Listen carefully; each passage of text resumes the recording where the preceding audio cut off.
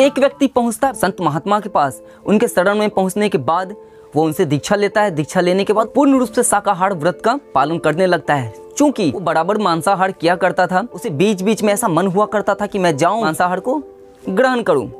ऐसा परिस्थिति देख के उस महात्मा ने, उस बाबा ने, उस व्यक्ति को कहा कि, बेटा देख, इस संतुष्टि की प्राप्ति के लिए तुम साल में वर्ष में केवल एक बार मांसाहार ग्रहण कर सकते हो। वो भी ईश्वर को समर्पित करके प्रसाद के रूप में। तो उस व्यक्ति ने यही किया। साल के एक दिन या साल के एक अवसर वो भगवान को अर्पित करके, उसे समर्पित करके वो एक दिन मांसाहार करता था। परंतु जो और लोग थे, इसकी गहराई को नहीं जानते थे। उन्होंने क्या समझा कि ये एक दिन, जो एक विशेष अवसर आता है, इस दिन मांसाहार ग्रहण करना ही सबसे शुभ काम है? उन्होंने प्रचार कर दिया।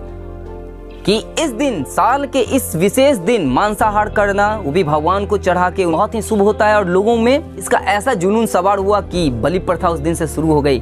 तो आपने देखा कि कैसे एक साधारण सी बात को बढ़ा चढ़ा के हम अपने धर्मों में इसका पालन करने लगते हैं और फिर अंध भक्त बन के दूसरों को भी भटकाते हैं। आज की वीडियो में हम यही देखेंगे कि बहुत सारी ऐसी अवधारणाएँ, बहुत सारी ऐसी सामाजिक परंपराएँ जो हम रोज ज़िंदगी में, रोज़मर्रा की ज़िंदगी में निभाते हैं, जिसके पीछे का कारण बहुत ही स्पष्ट और बहुत ही अच्छा है, उसे हम लोगों ने दूषित कर दिया है। तो चलते हैं आज के वीडियो पे।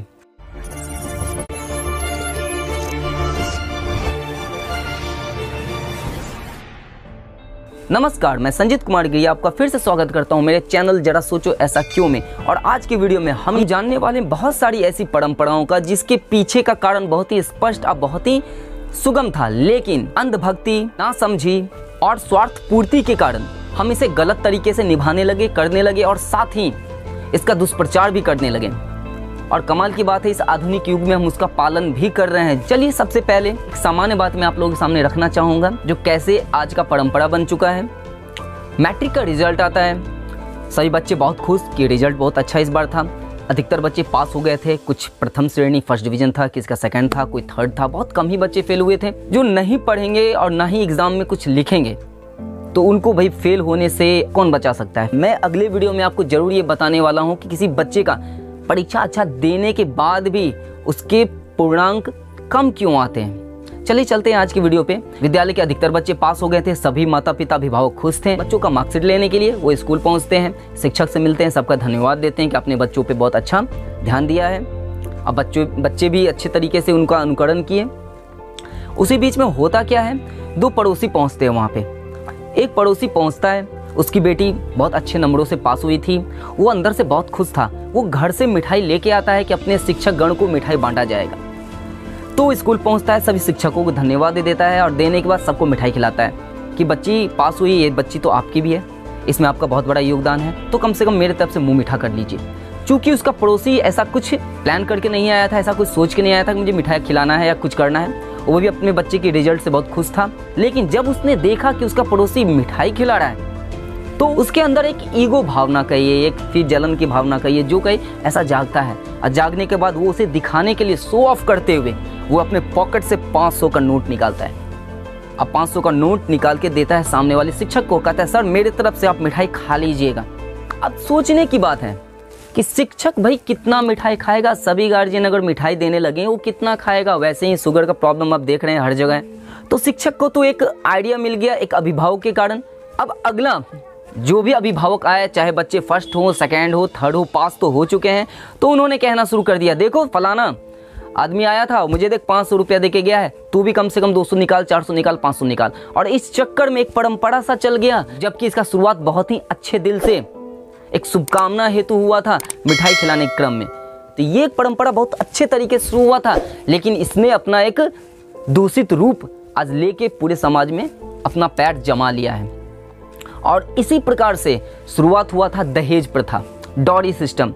प्रत्येक माता पिता अपने बच्चों का बहुत अच्छी तरीके से ख्याल रखते हैं और रखना चाहते हैं। बहुत कम ही ऐसे माता पिता होंगे, जो अपने बच्चों के पीछे एक जवाबदेही नहीं लेते हैं और नतीजा उनको मिलता है निकट भविष्य में। लेकिन मैं आप चल रहा हूँ दहेज प्रथा यानी कि डॉरी सिस्टम पे। इसके इतिहास पे कि प्रारंभ कैसे हुआ? ये बेटी को माता पिता के द्वारा, अभिभावक के द्वारा, अपने भाई बंधुओं के द्वारा दिया गया एक उपहार था।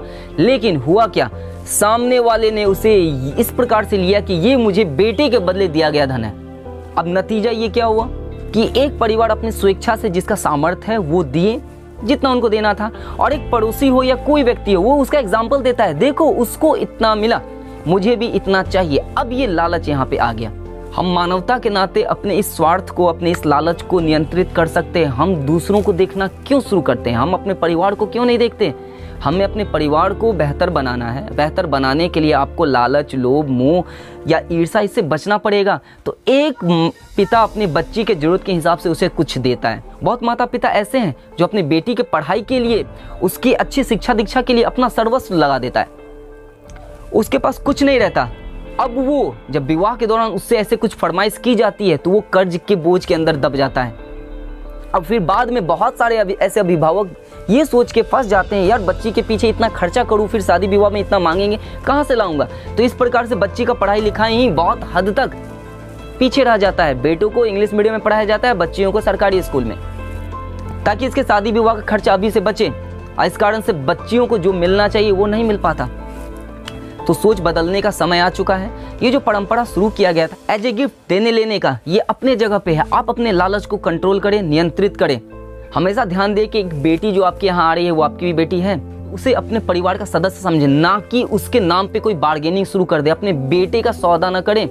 जो भी परंपरा जिस कारण से शुरू हुआ, उस कारण को बरकरार रखना चाहिए, उसको मेंटेन करना चाहिए, उसे दूषित ना होने दें। और जहाँ तक बेटियों की पढ़ाई और उसकी शिक्षा दीक्षा का बात है तो वो कहीं भी किसी मामले में कम नहीं है। वो हमारे कारण ही पीछे रह जाती है। हम उन्हें पूरी आज़ादी नहीं दे पाते। हाँ एक बात और। आज़ादी देने का मतलब है उन्हें पूरी तरह स्वतंत्रता, उसे स्वच्छंद छोड़ देना नहीं होता। मैं इसे पिछली वीडियो में भी बता चुका हूँ कि आज़ादी का अर्थ है कि आप कोई भी काम करने के लिए स्वतंत्र हो। आपका चॉइस है कि आप कोई काम को चुनो। आप कहोगे, मैं कोई काम ही नहीं करूँगा या करूँगी तो ये आज़ादी का अर्थ नहीं है। ये उद्दंडता में चला जाता है।